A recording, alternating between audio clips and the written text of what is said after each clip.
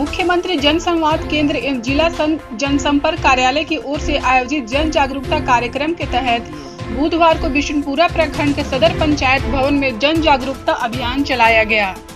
मौके पर ग्रामीणों को संबोधित करते हुए केंद्र और राज्य की संचालित योजनाओं का लाभ लेने की जानकारी दी गई। जन संवाद मुख्यालय से आए मुख्य प्रशिक्षक प्रतिनिधि रविकांत गुप्ता एवं जिला शिकायत निवारण समन्वयक विकास कुमार सोनी ने मुख्यमंत्री जन संवाद केंद्र का टोल फ्री नंबर एक सौ इक्यासी की जानकारी दी गई। मुख्यमंत्री सुकन्या योजना, मुख्यमंत्री कृषि आशीर्वाद योजना और प्रधानमंत्री किसान सम्मान निधि जैसी महत्वपूर्ण योजनाओं की विस्तृत जानकारी दी गई।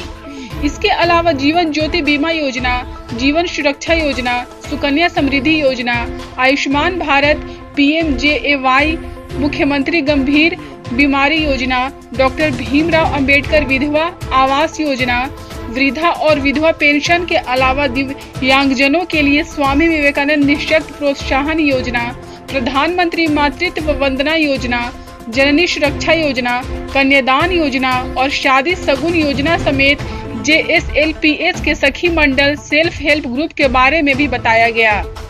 इस कार्यक्रम में मुख्य नीलम देवी, पंचायत सेवक सुदर्शन राम, बलराम पासवान, भुवनेश्वर राम सहित कई अन्य ग्रामीण उपस्थित थे।